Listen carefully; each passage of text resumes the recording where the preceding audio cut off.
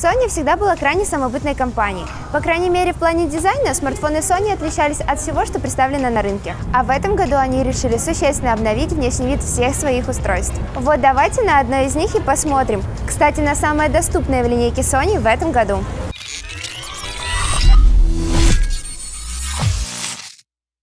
Встречайте, Sony Xperia L2 впервые был представлен на выставке CES 2018. Стоит недорого, но по крайней мере по меркам самой Sony. А в целом бюджетный уровень это, наверное, немножечко про другие модели. Сразу бросаются в глаза изменения и в дизайне. В частности, модель получила немного скругленную заднюю панель, которая улучшает хват и вы чувствуете телефон прям всей ладонью. Интересно и то, что такой дизайн очень напоминает большинство смартфонов Nokia Lumia. Смартфон сделан из пластика. Но перед нами тот случай, когда язык не поднимается занести сей факт в минусы. Материал исполнения качественный, а еще матовый, и что самое интересное, отпечатки пальцев на нем практически не остаются.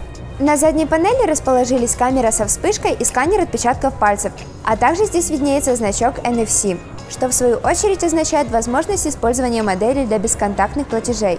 Справа, как обычно, разместились кнопка питания и громкости. Вверху 3,5 мм джек и шумодав. Внизу динамик, разговорный микрофон и порт USB Type-C. Самый дешевый смартфон компании имеет на борту все новые востребованные технологии. С одной стороны, это удивительно, а с другой стороны, не так уж.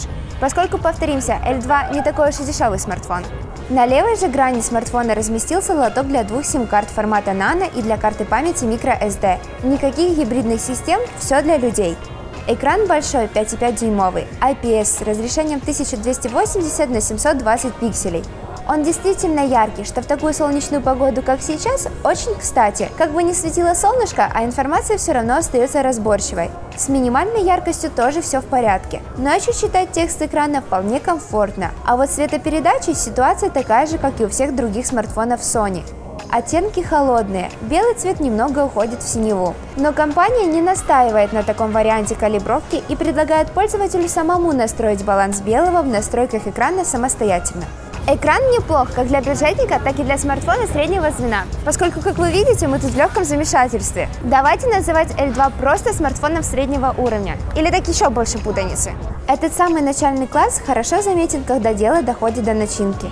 Модель работает на совсем уж не новой связке из процессором Mediatek MT6737T, графики Mali T720 и 3 гигабайтами оперативной памяти. Если смотреть на показатели синтетических тестов, этот чип работает на уровне Snapdragon 425, 430 и 435, которые сейчас используют китайские конкуренты как раз таки в бюджетных моделях. Касаемо производительности в играх, то он даже немного проигрывает упоминавшимся версиям. Зато где Xperia L2 проявляет себя просто на отлично, так это в повседневной работе. Если вы будете пользоваться только соцсетями, мессенджерами, звонками и браузером, сложно будет найти более стабильное устройство, ни намека на подвисание в интерфейсе. Кстати, работает смартфон на операционной системе Android 7.1.1, лишь со слегка измененными иконками и лаунчером. По сути, это почти чистый Android, из нестандартных приложений можно обнаружить лишь Xperia Lounge с темами и обоями, PlayStation для управления своим PSN-аккаунтом и Movie Creator для простого монтажа видео. Также имеется интересная функция, которая рекомендует вам установить то или иное приложение. Для этого вам нужно просто пролистнуть меню приложений влево. Правда, никакой привязки к нашим реальным предпочтениям найти во всем этом так и не удалось. Камеры. Тут вообще все по старинке. Их здесь всего две, никаких сдвоенных модулей, никакого эффекта боке, ноль инноваций. Основной модуль получил разрешение 13 мегапикселей, светосилу f2.0 и однотонную светодиодную вспышку. Оптической стабилизации нет, зато есть продвинутый режим для управления параметрами съемки. Здесь можно покрутить фокус, выдержку, ISO, баланс белого и экспозицию. Да, снимки не самого крутого качества. В сложных сценах могут появиться пересветы. В темное время суток много шумов. Но для личного использования или соцсетей этого качества скорее всего будет достаточно. Что касается видео, то здесь есть возможность записи Full HD разрешений с частотой 30 кадров в секунду. Фронтальный модуль получил сенсор на 8 мегапикселей и широкоугольную оптику на 120 градусов. Это сделано для групповых селфи, чтобы каждый мог попасть в кадр. Что касается автономности смартфона, то тут, в отличие от предшественника, который, напомним, вышел аж 5 лет назад, все куда веселее. Аккумулятора на 3300 мАч хватает на полноценные сутки работы, и лишь перед сном смартфон таки попросится на зарядку. То есть он будет жить, собственно, в таком же рабочем цикле, как и вы. Sony Xperia L2 – один из немногих смартфонов, которому удалось нас запутать. Вроде и бюджетник, а метит куда выше, и местами у него очень даже получается. В общем, обзывать его этим страшным словом на букву «Б» я больше не буду.